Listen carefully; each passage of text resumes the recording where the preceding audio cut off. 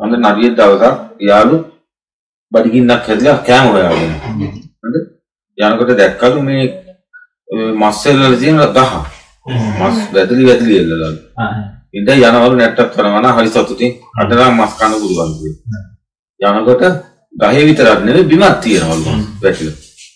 ඉතින් මස් කියන සංඥාවෙන් ගිහිල්ලා එකක් කපලා බැලුවලු. බලන්න මස් නෙවෙයි එරපුදු මල් පිට ගහක ලුමු රැවිලා තියෙන. එරපුදු මල් මේ වැටලා තියෙනවා. ඒ මස් නෙවෙයි කියලා. ආ ඒක මස් කියන්නේ. බලාගෙන ඉන්නකොට බලාගෙන ඉදිරියම එකක් වැටුණලු ගහේ. ඒක මස් කියලා හැපුවලු. ඒකත් මස් නෙවෙයි.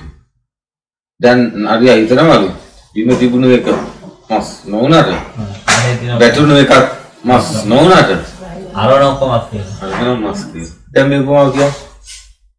අතීතයක් තිබ්බනේ. ඔබට අතීතයේ සැපයක් එහෙමකුත් තියනවද?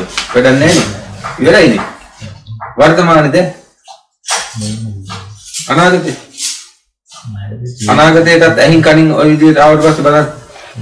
දැන් අනාගතේ කට අරන් ඉන්න ඕනේ නේද අර මස් කන්න වගේ අපි. මේ පෑන් කරන්න ඕනේ කියලා. අතීතය ඉවරයිනේ. ඒක ගහයට තිබිච්ච මස් කියලා. මස් නෙවෙයිනේ. එන අතීතේ වැඩක් නැහැ. වැඩක් නැහැ. දුකක්මයි තියෙන්නේ. සැපේකුත් නැහැනේ. දැන් වර්තමානයේ සැපේකුත් නැහැනේ එච්චරම. නේ?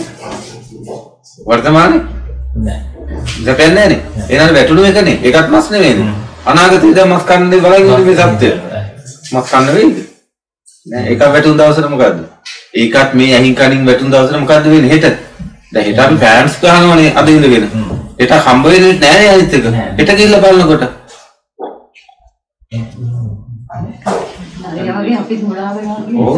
ඔන්න ජීවිත අවබෝධය නිවන් දකින්න. වෙන මොකද? නිවන් දකින්න කෙනාට ඔන්න ජීවිත අවබෝධයයි වදින්නේ. වෙන මොකුත් ගැඹුරු දහමක් නැත. ඔය ජීවිත අවබෝධය වැදිලා මේ බණ්ඩික වැදුව ගමන් ඒ නිවනට තමයි යන්නේ. එන දුක් පිණිස දුක් විඳිනව නෙවෙයිද මේ? ඈ? මොන්ටිසෝරි යන්නේ ඉස්කෝලේ යන්නේ විශ්වවිද්‍යාලය යන්නේ මොකටද? සාර්ථක දුක් විඳින්න නෙවෙයිද? සාර්ථක දුක් විඳින්න. ආ ඒ ගිහිල්ලා උපාධියක් ගාලා දෙන ඵලයන් පුතේ සාර්ථක දුක් විඳින්න. ඉතින් මරණකම් ගේ හදනවා. මේ බැංකු ලෝන් එක ගහගන්න. වයසට ගිහිල්ලා මේ මලමිනිය තමයි ළමයින්ට තියන්න වෙන්නේ භාගයට හදපු ගේ. ඒවා තුන්ටත් හරියන්නේ නැහැ නේ. උන් එකක් කඩලා දානවා.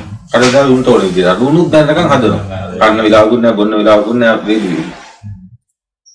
අපු ඉඳින්න වෙන්නේ නැහැ නේ. අපු හොයනවානේ. හරියවා වගේ. ඔන්න ජීවිත අවබෝධය. අපිට තේරෙන්නේ. ඔකත් එක්ක අල්බන් ටික වැදුණා කොහොමද හිතේද? මහා ඥාන දර්ශනත් එක්ක පහළ වෙන්නේ කියලා.